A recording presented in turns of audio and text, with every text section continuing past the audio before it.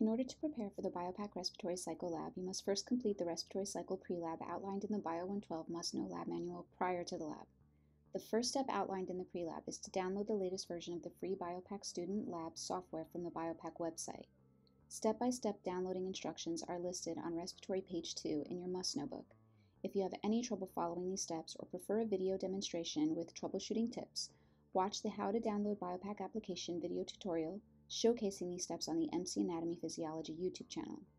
A link to this site can also be found in Canvas under the A&P2 Lab Resources section.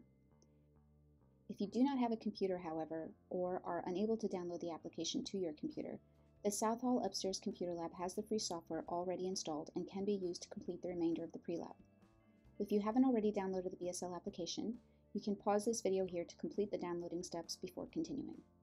Once the download of the BIOPAC application is complete or you have access to a computer with it already installed, follow the instructions on Respiratory page 3 in your Must Know book to complete the next bullet in the pre-lab.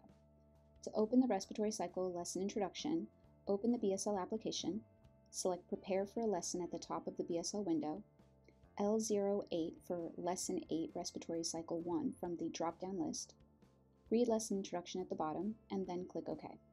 A window will open with a PDF of the respiratory cycle lesson introduction. As outlined in your must know, you must read through this introduction as well as the respiratory cycle lesson prologue on page 4 and watch the remainder of this video in order to answer the respiratory cycle pre-lab questions correctly on pages 5 and 6 in your must know book. Once you've completed the pre-lab in full, you are then ready to conduct the respiratory cycle lab. On the day of the respiratory cycle lab, you will be placed in groups of three to four students. Each group will be provided the following a BIOPAC MP36 unit, a recording laptop with power cable, a labeled BIOPAC equipment satchel, and a set of respiratory cycle lab procedures printed and bound. Please note that these printed instructions must remain in the lab for other sections to use. A PDF version of these printed instructions can also be found in Canvas under the A&P2 Lab Resources section. Pages 2 through 12 of these instructions detail how to record the respiratory cycle for each test subject in your group, which is what you will be doing in the first half of the lab. Once all respiratory recordings for your group are complete, pages 13 through 24 then detail how to open your file on a separate computer to complete data analysis of your respiratory recording and answer the post-lab questions in your must-know book. Keep in mind that you will only be responsible for analyzing your own respiratory recording, if you cannot record as a test subject for a medical or personal reason, speak with your professor before the lab. As stated in your instructions, position the BIOPAC MP36 unit and BIOPAC recording laptop at one end of the lab table near an outlet. Plug in the laptop power cable and turn the laptop on, hitting enter for the password when prompted. Open the BIOPAC satchel and remove the BIOPAC power cable from the back compartment. This cable is comprised of two parts, Ensure the cable is connected firmly at its adapter before plugging one end of the MP36 power cable to the outlet at the end of the lab table and the other end to the DC input on the back of the unit under the DC input label. Ensure that the unit power switch is down and the unit remains turned off while your group connects the remaining cables. You can confirm this by checking to make sure the green power light is not lit on the front panel under the power label. Now remove the wound USB cable from the USB compartment of the BIOPAC satchel. Note how this cable has two different connection ends. Plug in the flat USB end to any empty port on the laptop. Plug in the male Type B connection end to the back of the MP36 unit under the USB label. Be sure to match the shape of the cable connection properly here. If this cable end is forced in and plugged in upside down, the laptop will not be able to connect with the BIOPAC unit. Now remove the folded and wound respiratory transducer from its labeled compartment in the BIOPAC satchel. Plug in the pronged connection end with the label facing up into channel 1 port on the front of the unit, under the label CH1 for channel 1. Once plugged in, turn the side screws all the way down to secure the cable in place. Nothing should be plugged into the electrode check port or channel ports 2 through 4 on the front of the unit. With all cables properly plugged in, now turn the power switch on the back of the BIOPAC unit on. The green power light should then light up on the front of the unit under the power label. If the power light does not come on, check the power cable connections at the DC input of the MP36 unit, the outlet, and the power adapter. If this doesn't correct the issue, ensure the outlet reset test button hasn't been accidentally pressed, or switch ports on the power outlet. Lastly, move a chair closer to the setup at the end of the lab table for the test subject to sit down. Following the instructions in the printed respiratory cycle lab procedures manual provided, prepare the test subject for recording. If the subject is wearing a jacket or a bulky sweater or hoodie, ask that they remove it, as it may interfere with the recording. The respiratory transducer must be wrapped around the subject's chest to measure expansion and contraction of the thoracic cavity during respiration. The respiratory transducer is fitted with two eyelets for a Velcro strap to feed through. Undo the Velcro strap on one side of the eyelet and wrap it around the subject's chest, below the armpits and above but not over the nipple line. Ask the subject to hold the transducer with the label facing out and wire running down over their sternum. Now feed the loose end of the respiratory strap back through the eyelet and ask the subject to breathe out completely as you pull the strap tight toward their back. The strap should fit snugly around the subject's chest. If it is loose, ask that they exhale again and pull and tighten it further. Press the Velcro end of the strap down over the material of the strap to secure it in place once it is tight enough. Pulling the strap will cause the transducer to shift slightly. Ask that the subject adjust the strap so that the transducer once again sits over their sternum. Ensure that the BIOPAC logo is facing out, the cable attaching it to the unit is running down, and the placement is above but not over the nipple line.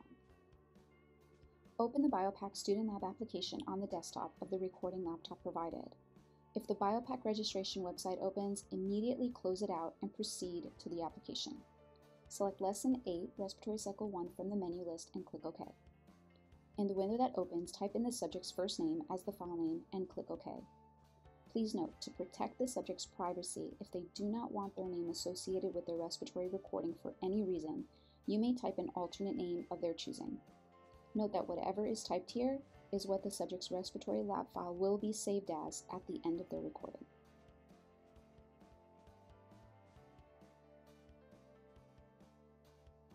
You are now ready to begin calibration. Calibration requires an 8 second reading of the subject's normal breathing to ensure proper connection. This is not a recording, just a way to confirm everything is attached and running properly. Every subject in your group will be required to do this before their first recording. Read through all the calibration steps in the lab procedures manual before beginning. Ask that the subject remain seated and relaxed and that they do not speak or move while calibration is in progress.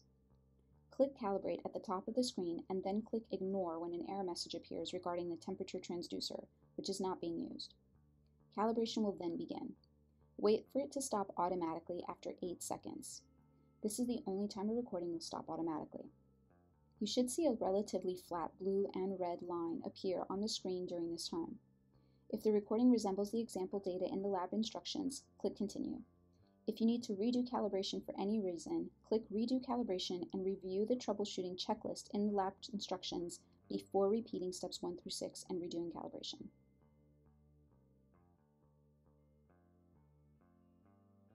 With calibration complete, you are now ready to record the first of four experiments in the respiratory cycle lab, the eupnea condition.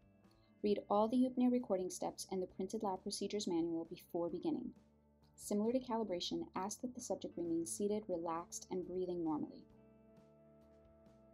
When ready, click record and immediately keep an eye on the running seconds bar on the bottom of the screen. You will want to record eupnea for 30 seconds. During the recording, if the respiration strip looks a bit flat, you can improve the amplitude of the waveforms on the screen by selecting Display from the top menu and then Autoscale Waveforms. Just be sure not to accidentally click Suspend too soon in the process. When 30 seconds has been recorded, click Suspend to pause the recording. Verify that the recording resembles the example data in the lab instructions. The top recording strip represents temperature, which is not being recorded and can be ignored. The bottom recording strip in blue represents respiration, the subject's blue respiration line should have a clear wave pattern. If the eupnea recording is unclear, even after selecting display and autoscale waveforms, click Redo and repeat steps 1 through 7. If similar to the example, click Continue to proceed to the second experiment. Be sure to click Continue and not Done at this time. As is warned in the lab instructions, if you click Done before all four experiments have been recorded, you will have to exit the program and restart the lesson from the calibration stage. After clicking continue, we'll notice that the title of the previous recording still remains at the top of the screen, while the bottom half of the screen showcases the name of the next experiment you are about to perform, which is the hyperventilation and recovery condition. Review all the recording steps with the subject before beginning the experiment so everyone knows what to do. Ask the subject to begin hyperventilating by breathing as quickly and deeply as possible through their mouth and nose, and immediately click record. Keep an eye on the seconds bar below the recording strip. This will begin where the previous eupnea recording was paused. After 30 seconds of hyperventilation, keep recording as you ask the subject to return to normal breathing. Keep an eye on the seconds bar and continue to record for an additional 30 seconds of their recovery. After a total of 60 seconds has been recorded, click Suspend to pause the recording. If an error occurred during the recording, click Redo and repeat steps 8 through 15. If the recording resembles the example data, however, and 30 seconds of hyperventilation followed by 30 seconds of normal breathing was recorded, click Continue to proceed to the third experiment, the hypoventilation and recovery condition. Read through the hypoventilation and recovery recording steps in the printed respiratory cycle lab procedures manual with this subject before beginning. Ask the subject to hypoventilate by breathing in and out as slow and shallow as possible, never taking a full, deep inhale or exhale, and immediately click record.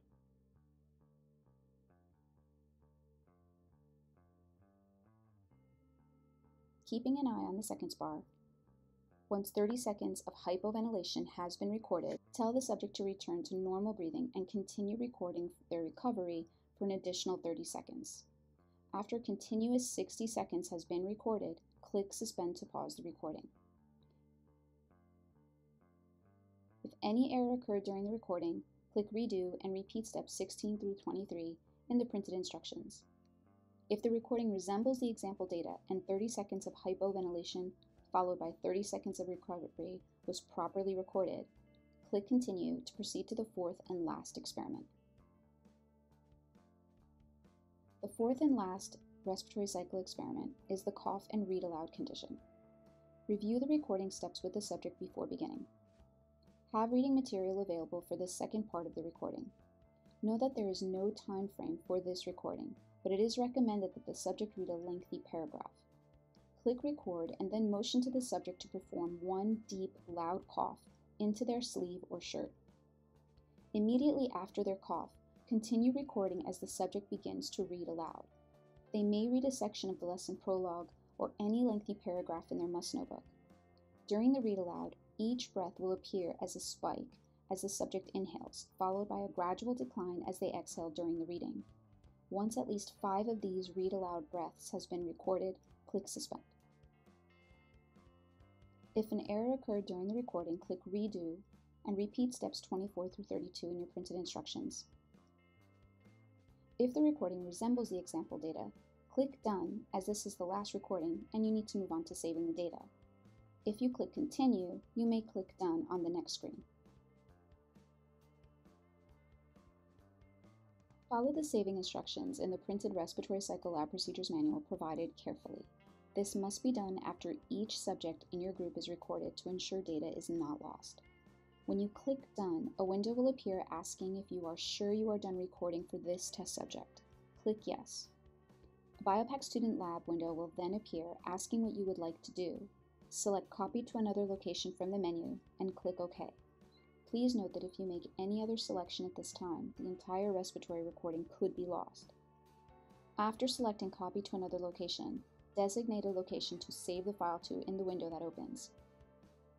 If you have a flash drive, select it on the left of the window to view its contents and then click Select Folder. Do not type anything in the folder field.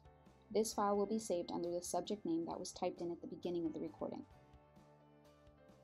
If you do not have a flash drive, select Desktop on the left of the window and then click Select Folder. Again, do not type anything in the folder field. The file will be temporarily saved to the desktop and can be emailed to the subject once your group is done recording all test subjects. To visually confirm the file saved successfully, click the File Explorer icon on the bottom of the screen and open either the flash drive or desktop. If you see the file name, then it has saved to the location selected. Do not attempt to open the file from here, however. It can only be opened via the BSL Data Analysis application.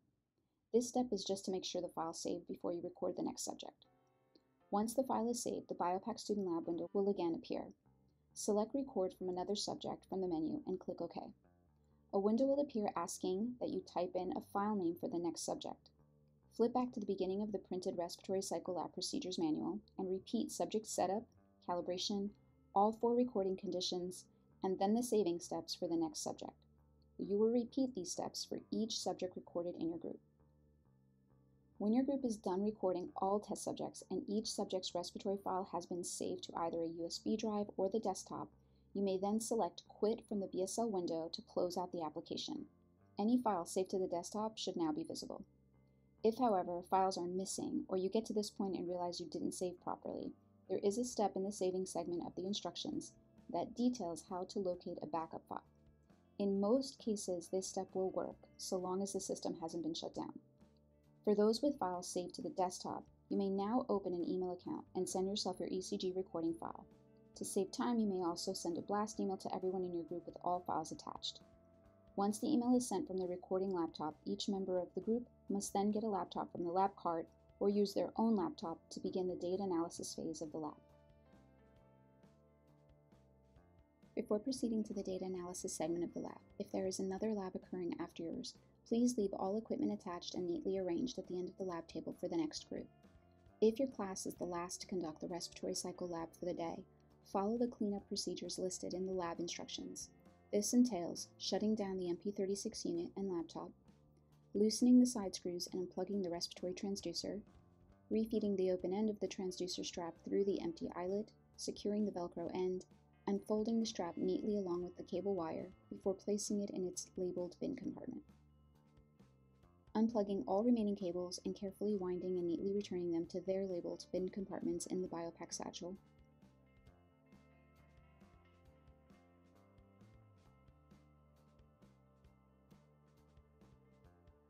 Returning the BIOPAC laptop with its power cable over it, as well as the BIOPAC unit and satchel to the cabinet in the front of the room where your professor can secure it.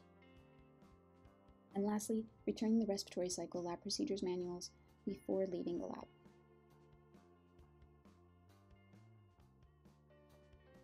You can now proceed to the data analysis instructions in the printed respiratory cycle lab procedures manual provided.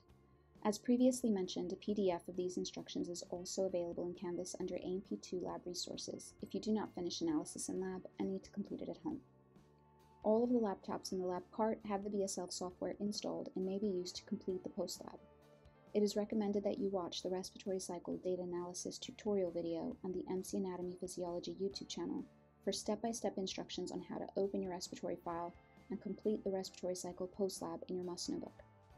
A link to the data analysis tutorial is available at the end of this video, as well as in Canvas.